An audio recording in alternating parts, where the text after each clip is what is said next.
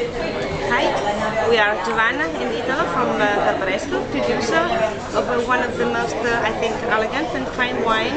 in uh, in Italy. Okay, we are from Piedmont, Italy, uh, in the northwest,